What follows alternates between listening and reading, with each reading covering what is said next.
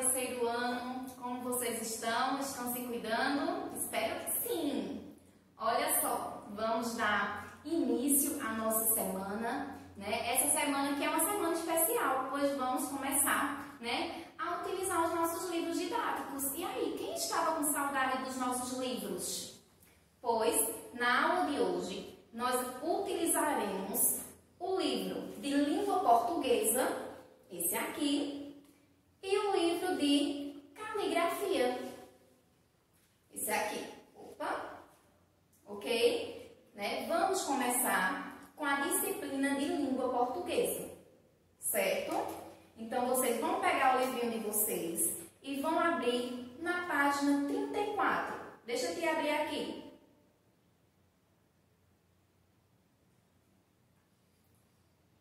Pronto.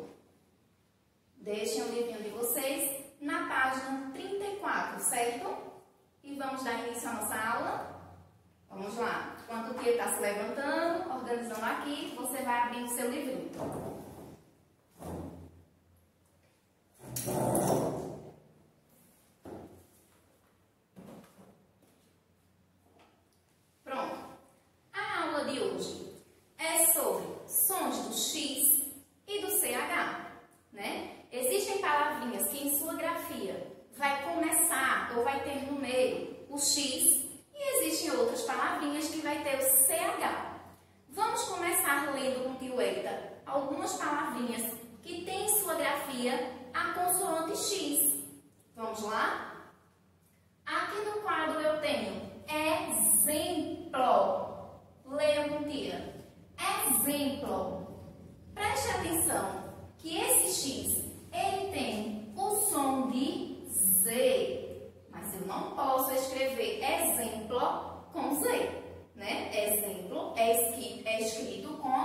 consoante x mais o som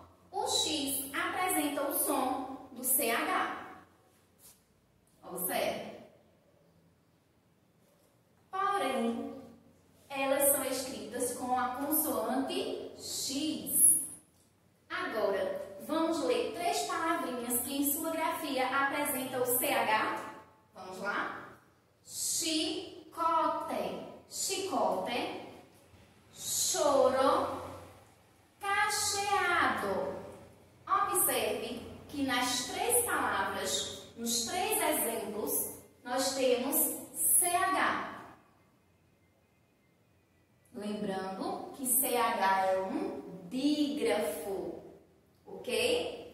Então, vamos começar a nossa atividade.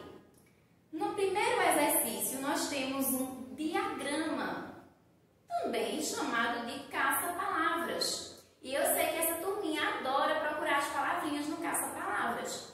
Então,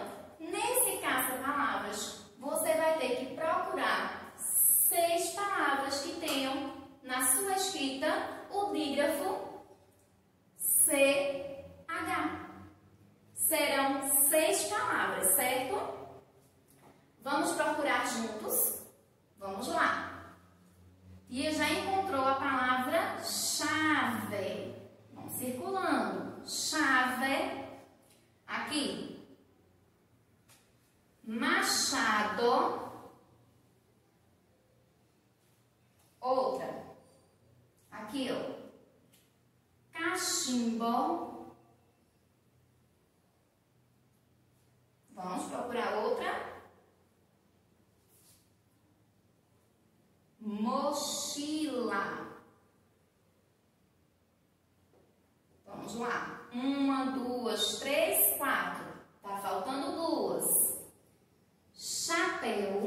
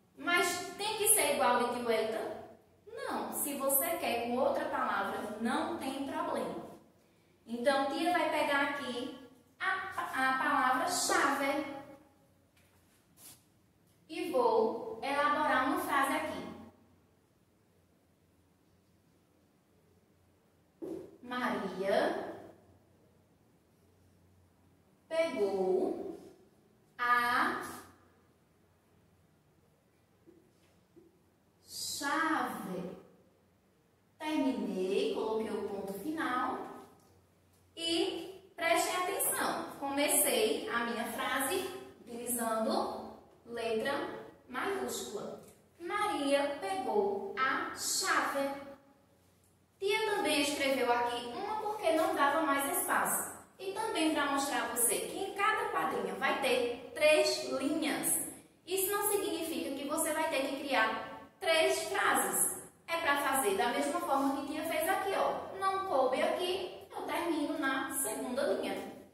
Se não couber na segunda linha, eu posso terminar na terceira linha. E aí eu vou para o segundo quadrinho formar mais uma frase, certo? Agora, na terceira questão, diz assim: complete as palavras usando X ou CH. Caso necessário, consulte um dicionário. Pronto, tia trouxe um dicionário para mostrar a vocês. Esse é o dicionário de Tio Elta. Cada uma pessoa deveria ter um desse. Então, se você não tem, quando tudo isso passar, pede para a mamãe comprar, certo? É muito necessário ter um dicionário, ok? O dicionário, além de mostrar a você a grafia correta das palavras, a separação silábica correta das palavras, também dá o significado das palavras, ok? Então, aqui nessa questão, por que pede para pegar o dicionário, Tia? Porque, veja, vai ter palavra aqui que vai ter, vou utilizar o X, e vai ter algumas palavras que eu vou utilizar o CH. Então, se eu, se eu ficar confuso, não sei, tia. Então, pego o dicionário, pesquiso e aí eu vou saber se a palavra é escrita com X ou com CH. Para iniciar, vocês vão perceber que são três colunas. Tia já escreveu a primeira coluna e vai ter a segunda coluna e a terceira coluna. Então, vamos responder juntos a primeira e a segunda e a terceira você vai responder certo? Agora, se você sentir dúvida e você tem em casa um dicionário, pesquisa no dicionário. Se você não tem, pesquisa na internet, ok? Então vamos lá. Embaixo. A palavra embaixo é com X ou CH? X. Embaixo. Já a palavra borracha. A palavra borracha é com CH. Trouxa. A palavra trouxa é com X. E a palavra laxante? A palavra laxante é com X. Certo? Tio Elita colocou, porque Tio Elita já sabe, mas para quem está confuso, pode pegar o dicionário ou então pesquisa na internet, ok? Agora vamos dar continuidade, certo? À nossa atividade. E a quarta questão pede para você analisar as três palavrinhas de cada grupo, né? Cada grupo, e você assinalar, marcar um X onde mostra um grupo de palavras que está escrita de forma correta, certo? Então vamos lá. Aqui eu tenho uma palavra peixe. Serve. Peixe está correto, tia? Está. Já a palavra faixa não está. Faixa não se escreve com CH, se escreve com X. Então, já sei que esse grupo aqui já tem uma palavrinha que está errada. Mas tem aí a palavra xerife. Tá certo com X? Está. Agora vamos para o segundo grupo, certo? Inchaço. A palavra inchaço está certo? Não. A palavra inchaço não é com X, é com CH. Então, aqui, ó, seria CH. Já encontrei um erro. Na palavra mochila, tá certo, tia? Tá. CH. Mexerica, tá correto? Sim. Então, observe que também eu não vou poder marcar um X, porque uma das palavras do grupo estava escrita de maneira errada, certo? Agora vamos para o terceiro grupo, onde diz assim, México, né? O nome México é com X, tia? Sim, correto. Chaminé é com CH? Sim. Xícara com X? Sim. Observe que as três palavrinhas, elas estão escritas de maneira correta. Por isso, nós devemos marcar um X aqui. Ok? Estão marcando? Vamos lá. Vamos observar o quarto grupo, né?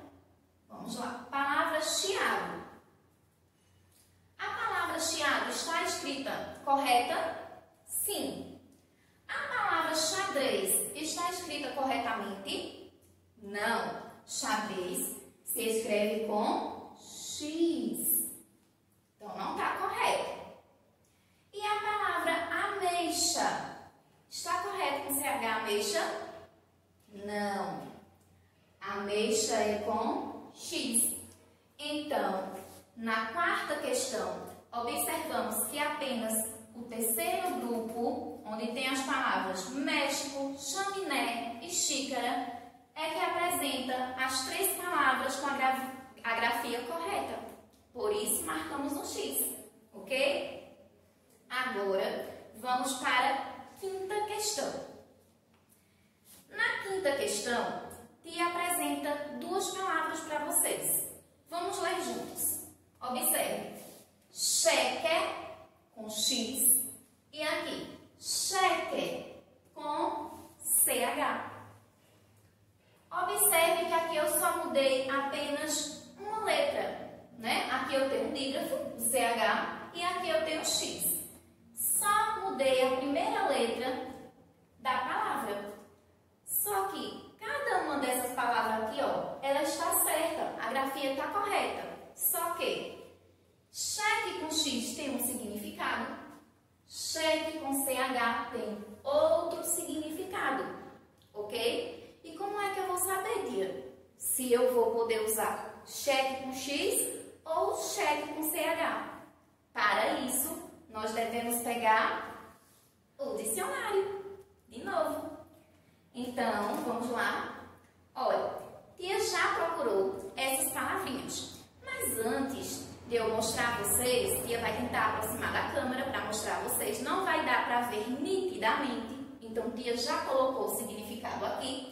Essa parte que está escrita de azul é o significado, tia vai ler com vocês, mas tia vai primeiro mostrar como é que se procura essas palavrinhas, certo? Vamos lá. O dicionário, né? As palavras estão organizadas em ordem alfabética. Ou seja, se eu precisar procurar a palavra abacaxi, abacaxi começa com a vogal A. Deixa eu te apagar aqui para dar um exemplo legal para vocês. Ó, abacaxi. Essa palavrinha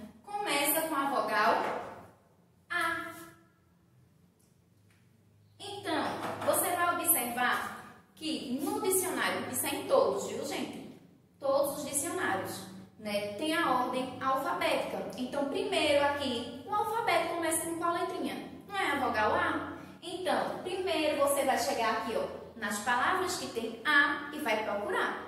Eu não posso procurar abacaxi, ó, lá no final do dicionário, porque eu não vou encontrar. Elas estão organizadas em grupos de acordo com a ordem alfabética, ok? Então aqui, né, voltando para cheque com X e cheque com CH, que o Elita já procurou, viu? Então eu fui no grupo de palavras que tem X, ó, tia vai tentar aproximar da câmera, não vai ficar nítido. Observe essa palavrinha verde. Tá dando para pegar, meninas? Tem umas tias aqui me ajudando. Só para ver, identificar que tia colocou de verde. Eu encontrei a palavra cheque. Agora, vamos ler com o tio Elton o significado dessa palavra cheque com X. Vamos ler juntos?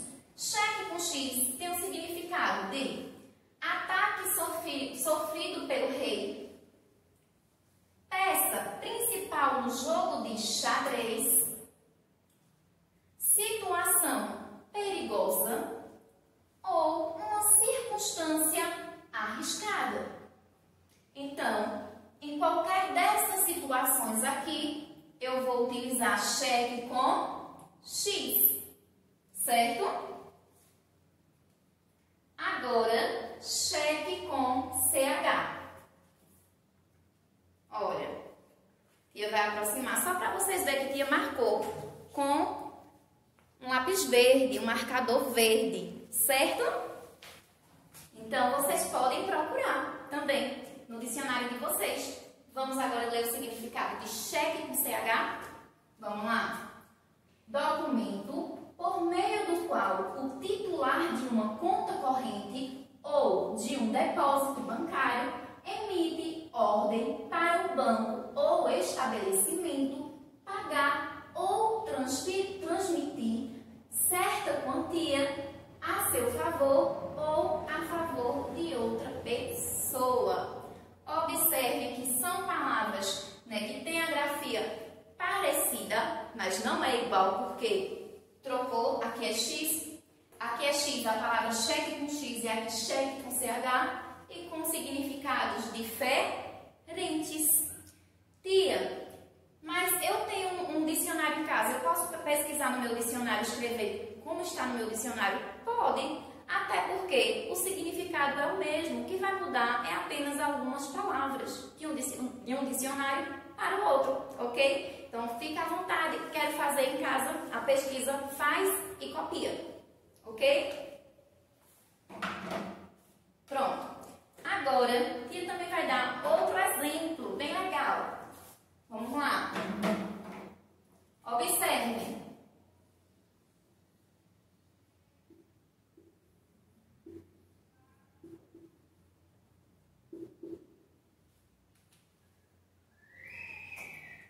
Olha só, aqui eu tenho ata. Ata é um documento. Veja, ata, documento. Agora aqui eu tenho a, tá. Isso quer dizer, ah, tá, eu entendi. Certo? Então vejam, tem pessoas que ao ler acham que é a mesma coisa. E quando vai responder, responde assim, ó. Ah, tá. Só que aqui é uma ata, um documento. E aqui é uma expressão. Ah, tá. Entendi. Legal, né? Vamos para a página 36. Na página 36, nós temos estudo do dicionário.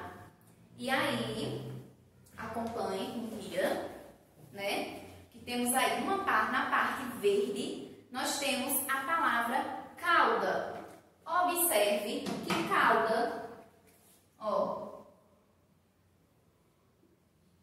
está escrita com L. E embaixo nós temos a palavra cauda, que está escrita com U. E vamos ver que o significado dessas palavras palavras são diferentes e apenas mudei uma letrinha. Vamos lá? Tia vai ler e você vai acompanhar no seu livrinho, tá certo? Veja a definição das palavras a seguir. Calda com L. Líquido doce que se obtém cozinhando água com açúcar até que se adquira a consistência de xarope. Agora, calda com U. Em alguns animais, prolongamento posterior do corpo e da coluna, da coluna vertebral. Em uma ave, conjunto de plumas fortes e mais ou menos compridas, que fica no rabo ou na extremidade posterior do seu corpo, parte posterior ou final de algo. Então aqui tia tem ó, o sorvete, né, a cauda com L, né, no sorvete, e aqui eu tenho a cauda dos animais, escrita com U, certo? E logo embaixo nós temos um quadro que também tem algumas palavrinhas. Observe, absolver com L e absorver com R.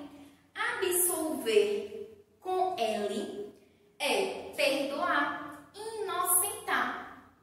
Absorver com R é reter, consumir. Já dilatar com I é aumentar. E delatar com E é acusar. A palavra soar é emitir um som. E a palavra suar com U é transpirar. Veja, só mudou uma letrinha de uma palavra para outra. E o significado da palavra foi totalmente diferente. Por isso que devemos ter um dicionário em casa, devemos estudar, pesquisar o significado das palavras para sabermos né, colocá-las de forma adequada, né, quando estamos conversando ou quando estamos escrevendo. Pronto. A partir desse estudo do dicionário, nós vamos para a atividade número 1, um, porque aí agora já é outro assunto, que já deu X e CH e agora estudo de, no dicionário, certo? Vamos lá? Vocês vão observar na atividade de vocês um quadro que tem essas palavrinhas, ó. Peão com E, peão com I, deferir com E e diferir com I. Cavaleiro, cavaleiro, só tem um E aqui. E aqui eu tenho cavalheiro. Veja que aqui eu tenho um dígrafo, né? Tem uma LH. Cumprimento com U e comprimento com O. Veja só. Tá pedindo para você pesquisar no dicionário, né? Tio Eita já fez a pesquisa, tá aqui, ó. Minha pesquisa. Você vai fazer da mesma forma. Pega o papelzinho, escreve as palavras e procura no dicionário, certo? E ao lado você vai colocar o significado das palavras. Mas agora com o tio Eita, tio Eita já vai ler para vocês o significado dessas palavrinhas, tá certo?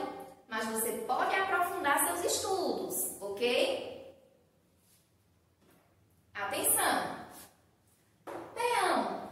Peão com E é auxiliar de boiadeiro. Já peão com I é aquele brinquedo, né, que geralmente é feito de madeira, que é pontiagudo, que nós jogamos e ele, ele gira rapidamente. Deferir com E é atender o que é solicitado, certo? E diferir com I é demorar, prolongar. Aí eu tenho cavaleiro. Lembrando, cavaleiro sem o H, só com L. Aquele que anda a cavalo, certo? E aqui eu tenho cavalheiro, com o dígrafo, né? Olha o LH aqui. Quando falamos cavalheiro, com LH, nós imaginamos que é o homem que faz par com a mulher na dança, né? Geralmente ele é muito educado, muito gentil. Cumprimento com o é uma gentileza. Como assim uma gentileza? É quando alguém abre a porta do carro, né? Coloca a cadeira para outra pessoa sentar. Isso é um cumprimento, né? É quando somos educados, falamos bom dia, boa tarde.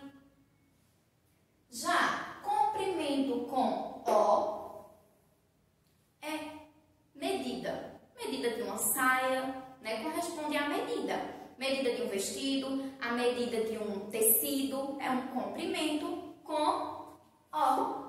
Observe, tia só mudou o quê? Uma letrinha de um, de uma palavra para outro. E o significado foi totalmente oposto, diferente. Certo?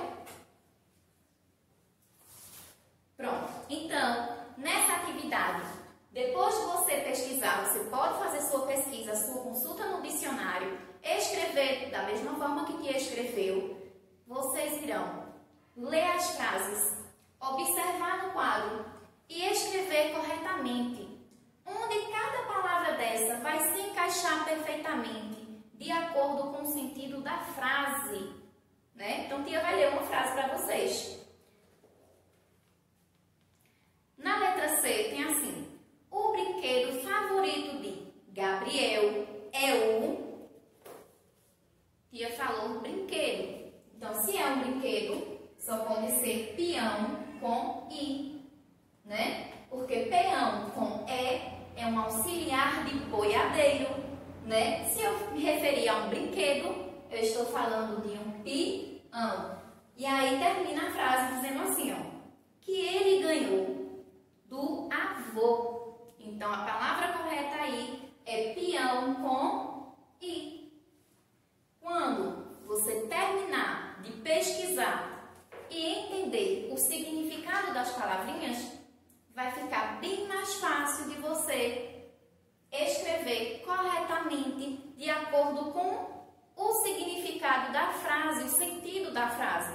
Né? Eu não poderia copiar o brinquedo que ele ganhou do avô é peão, porque aí já ia, tá, já ia ter outro significado. Peão, peão é um auxiliar de boiadeiro, não pode, né? Mas peão com i é um brinquedo. Então, de acordo com essa explicação, você vai responder passo a passo das outras alternativas, certo? Agora, o Eita vai copiar aqui, e vai copiar aqui no quadro as páginas do livrinho de do livrinho de caligrafia que você vai continuar praticando com a mamãe. É, porque língua portuguesa você fez com a ajuda de Wélida.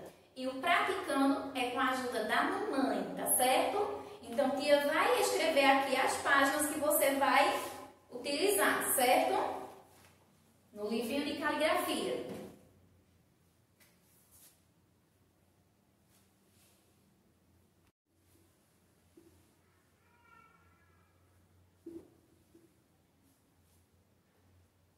Páginas 16 e 17, certo? Caligrafia, páginas 16 e 17. Agora a tia vai apagar aqui. Acho que todo mundo já fez, não foi? Já encontrou as palavrinhas. Então, a tia vai apagar aqui o diagrama para fazer uma explicação de como vocês devem fazer essa atividade com a mamãe, tá certo?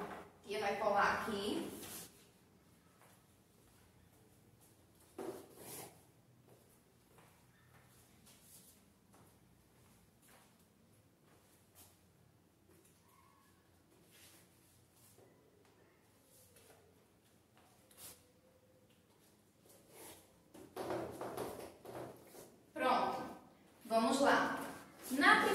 questão, você vai observar um quadro com algumas palavras que tem sua grafia RR.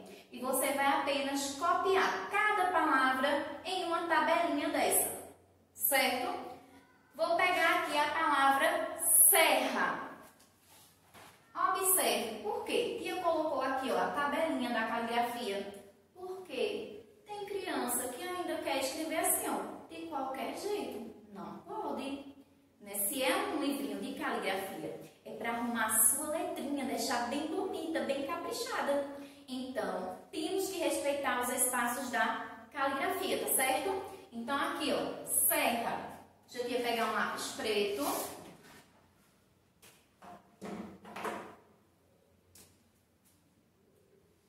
Observe que não pode passar ó, dessa parte azul.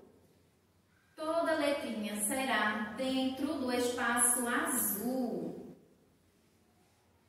Olha que lindo tia fez. Serra bem caprichado. Eita, passou um pouquinho. Apaga, faz de novo. Tem nada não. Apaga, faz de novo. Se tio Wellington errar, também apaga em casa e faz de novo. Se errar aqui, tia vai ter que pegar outra folha, né? Mas é normal, todo mundo erra, certo? Então errou, apaga e faz bem caprichado. Então já sabemos que cada quadrinho você vai ter que escrever uma palavra. Já no segundo exercício diz assim: observe as palavras dos retângulos e copias acrescentando R, formando novas palavras. Tia vai escrever aqui, ó. A palavra vai estar escrita assim para você. Muro. Quando você acrescentar o outro R, vai ficar assim, ó. Mu, ro. Certo? Então, em todas as palavras, você vai acrescentar mais um R e você faça a leitura, porque você observou que aqui eu li de uma forma e aqui a, a outra palavra já foi diferente a forma de ler. Aqui eu tenho um R brando, né? R com som brando. E aqui eu tenho R com som forte. Agora, no terceiro exercício diz assim, ó. Você vai encontrar algumas palavrinhas que já estão escritas aqui em cima.